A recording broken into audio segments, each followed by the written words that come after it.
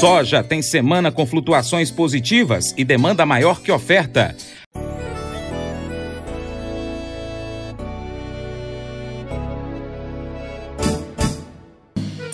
Acordo de manhã para prosear no mundo do campo, as notícias escutar. Vem com a gente em toda a região com o seu programa Paracatu Rural.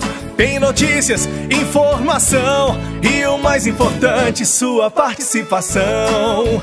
Programa Paracatu Rural. Programa Paracatu Rural.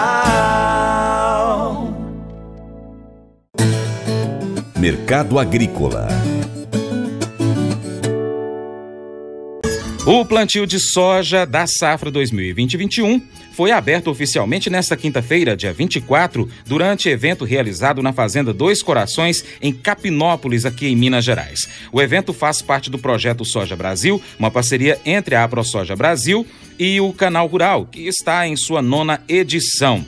Nem mesmo o distanciamento social por conta da pandemia de coronavírus diminuiu o tamanho da festa, que foi transmitida ao vivo em multiplataforma, mas sem a presença de público no local do plantio.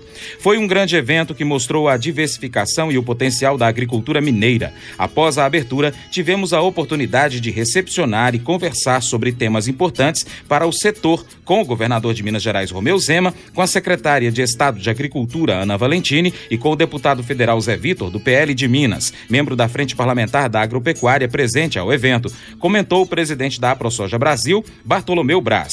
Sobre o mercado da oleaginosa, o consultor Vlamir Brandalize diz que a semana tem flutuações positivas para a soja e tem demanda maior que oferta.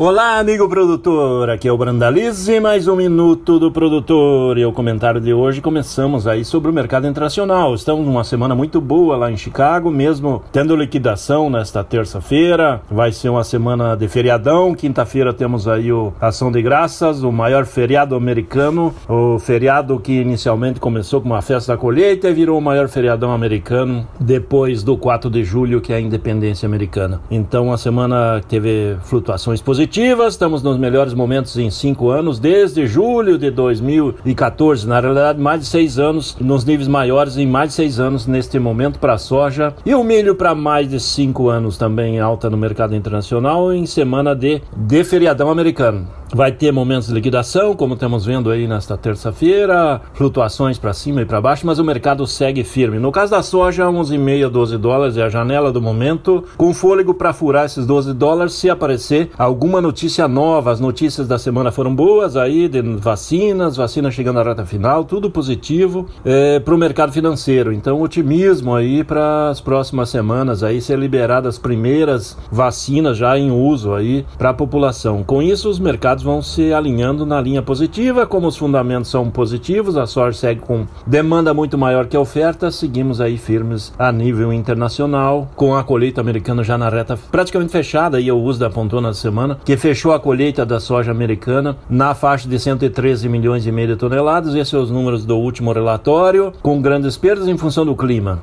Os primeiros indicativos apontam aí um crescimento da área da soja americana para o novo plantio, dentro das expectativas, né, porque o mundo precisa precisa de mais soja e não tem como atender aí se não haver um avanço no plantio americano e da América do Sul, que são os grandes produtores exportadores da oleaginosa. No mercado brasileiro temos aí os bons números da CSEX, divulgou aí a semana com exportações aí acumuladas em novembro com 1.2 milhões de toneladas, sendo que o ritmo está caindo, não tem negócios novos sendo realizados nos portos, o nível de porto também caiu nos últimos dias. Na faixa 155, 156 dos compradores caiu bastante os níveis de portos para soja disponível, não tem ofertas. Mercado interno também pressionado para baixo em função dos níveis de exportação não dando liquidação e a maioria das indústrias parando de esmagar. Então esse é o, é o quadro de calmaria nessa semana de última semana de novembro, né? No acumulado do ano a soja já está com 88,6 milhões de toneladas embarcadas, recorde histórico anual já nesse momento. O ano passado no mesmo período tinha 70 milhões de toneladas, ou seja, está com 18,6 milhões de toneladas a mais que o ano passado e o complexo soja já atinge 105 5,8 milhões de toneladas embarcadas. O ano passado era 86,5. Veja a diferença dos embarques, quase 20 milhões de toneladas a mais já embarcou nesse ano e ainda tem novos embarques aí para as próximas semanas. O recorde histórico de embarque anual do complexo soja foi em 2018, quando atingiu 101,6 milhões de toneladas. Então já estamos com o recorde histórico acumulado no complexo soja. Internamente, os olhos estão voltados para a safra nova, que voltou a operar em 147, 150 reais daí nos portos, melhorou os níveis na semana frente às últimas semanas. A safra nova está nos melhores momentos aí dela, mas não está tendo vendedor. O vendedor agora negociou já 65 milhões de toneladas da safra brasileira, então agora está aguardando fechar o plantio, principalmente no Rio Grande do Sul que está mais atrasado, esperando chuvas aí nessa semana, e no restante do Brasil também esperando chuvas para que a safra siga em ritmo normal. Por enquanto tudo caminhando para a colheita aí de 130 a 135 milhões de toneladas. Esse é o quadro interno, calmaria nos negócios também na safra nova da soja.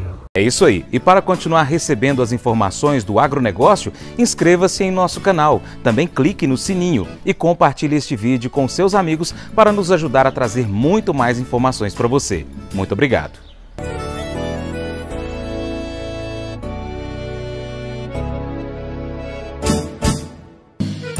Acordo de manhã